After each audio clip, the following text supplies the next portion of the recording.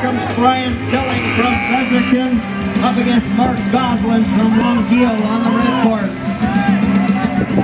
Fredericton against Longueuil, the 20, or sorry, the 32 year old up against the 24 year old on the red course. Sporting previous best times of 1 minute 36 seconds. Looks like our member from Fredericton trouble there getting that donut roll up and over the railing, but he remains out in front.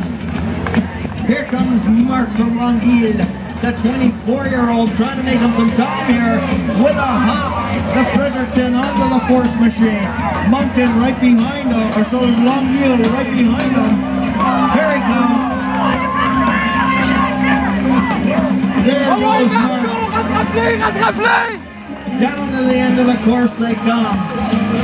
It's my privilege to commentate this event here at the Nationals. These young men and women working hard. Look at the energy. Here they come. Here comes Brian Killing from Fredericton Fire. Looks like Mark Gosselin's beat up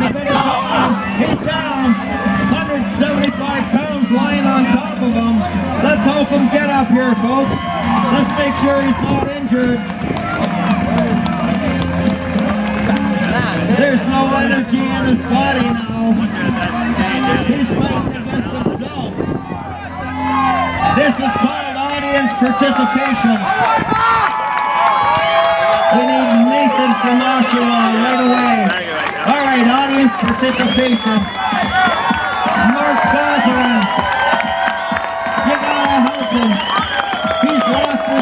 Energy. He's going on sheer determination. All the way down the line. Let's help him up now. This is for pride.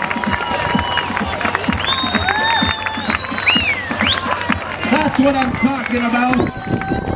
Giving it everything he's got. Right across the finish line. You guys made the difference.